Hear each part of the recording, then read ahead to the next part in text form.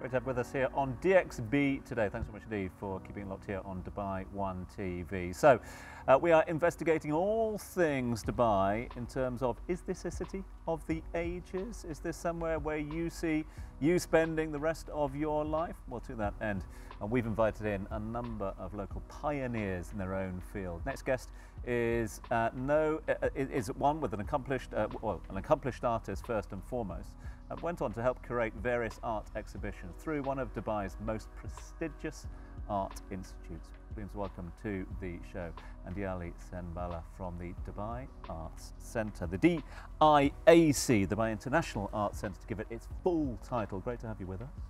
Thank you so much.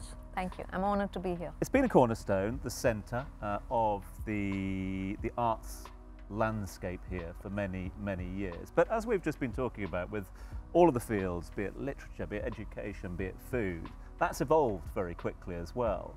How has the art scene evolved in step with that, with that evolution at the moment? And how has the centre sort of stayed on top of that?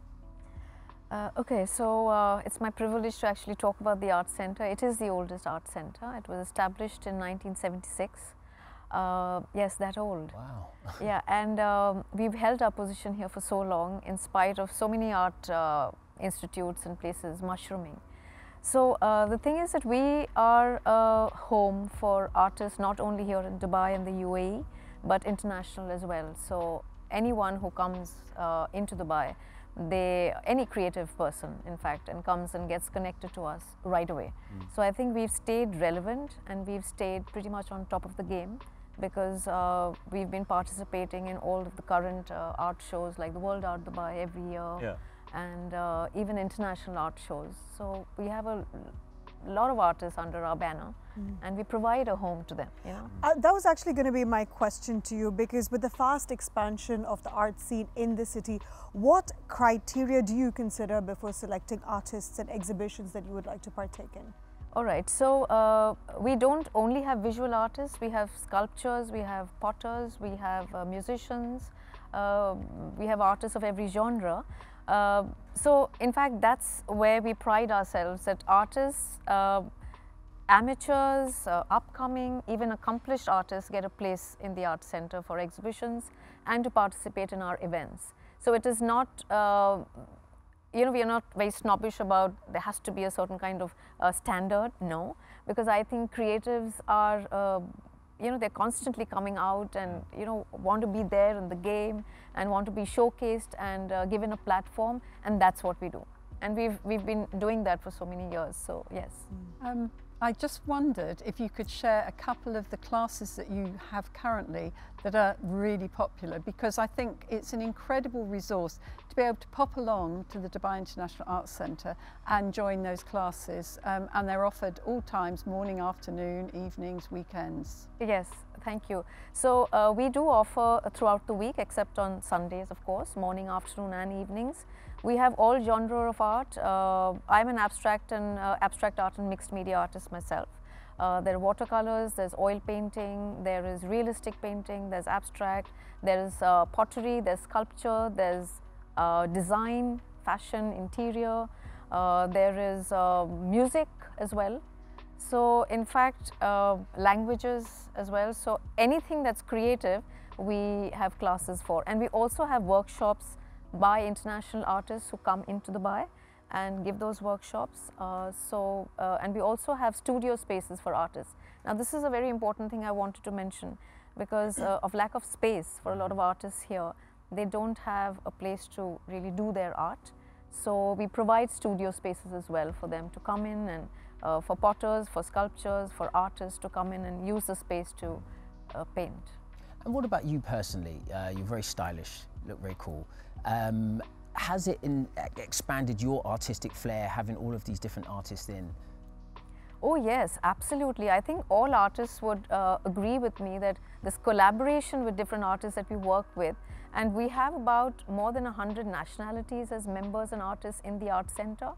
So we get to uh, you know kind of meet and interact with all of them from different cultures and traditions. So it's really empowering and uh, it's a fantastic resource. Go back to the sort of theme of the show in terms of a city for all ages. Is there something you've seen? I mean, it's interesting that, that you're a centre built on community, the building of that creative community. A lot of people think Dubai, they'll think glitz, they'll think corporate, they'll think wealth, etc. And yet, building that creative community is key to any city. And is it something that's open to all ages? Yes, absolutely. And you're right. We stress on the community. Right. So, uh, uh, and a community is really someone who finds a home and support mm. where we are. Uh, so, all ages really. We have children's classes, we hmm. have teen classes, we have, um, I have students over uh, 65, 70 years old, you know. So it's really fantastic to have these people come in and do a course, mm. you know, and at any time, their convenience. Mm. So, and they also get to showcase their artwork. Well, that's the other thing, isn't it? Yeah. The, the, ability, and it sort of goes back to the, you know, we've spoken in the past, haven't we, about kids that have been educated, grown up here, who've gone on to write books, write mm. poetry, to perform as well. Same with art yes, as well. Giving them the showcase is, is, is key to that. Absolutely. What they start as a child or, or as a teenager, they'll take it on and, um, you know, it gives them confidence. It's hugely important. You know, them doing their first piano recital or, mm. or having an art exhibition at school where they've got a star and, and things like that. It, it stays with the children forever. And what's so interesting, Ravi uh, was started, we were co-founded Magrudy's in 1975, you were 1976, yes. and Ravi's I think was 1978. All of us as community in that time, we were all accessible because I, uh, where our house is, the arts centre, the original one, was very near to Magrudy's, sort of in a villa, um, and it had the old library in it. And it was very much a community that you could walk from where you lived or you, you know it was a short drive there was no traffic. If you saw two cars you thought gosh two cars on the road gosh it's a busy day today. Um, but there was that huge sense of community. And the thing about Jumeirah is it's so multinational and always has been.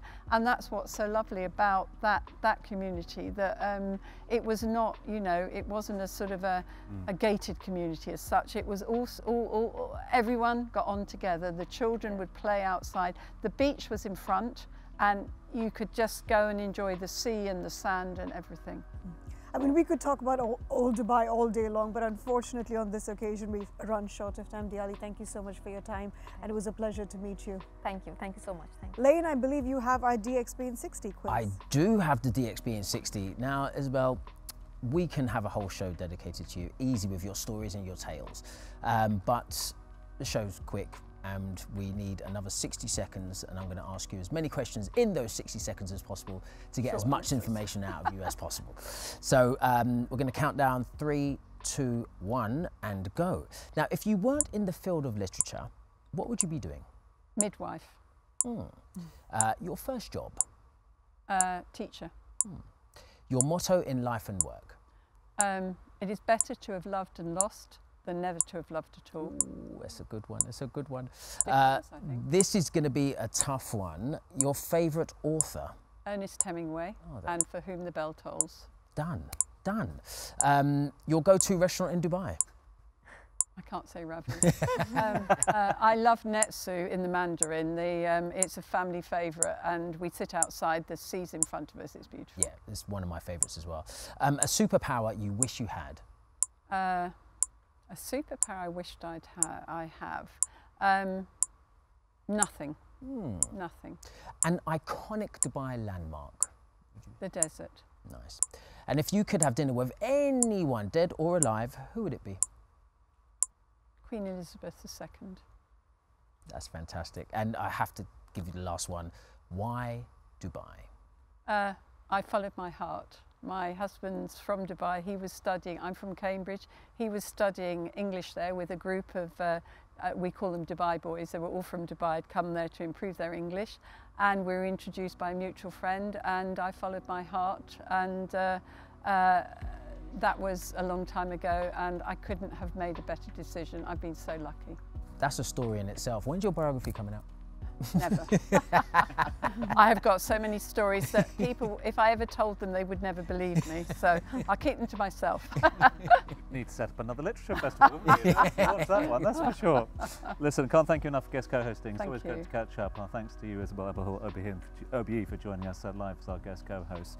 And Dilly, thanks so much indeed for Thank being you. with us here this Thanks evening as well. Great to have you on board. We're not going anywhere. We're sticking around though. In fact, if you listen carefully, you might be able to hear Matt warming up his saxophone. That's coming up in just a few moments. Time to stay with us.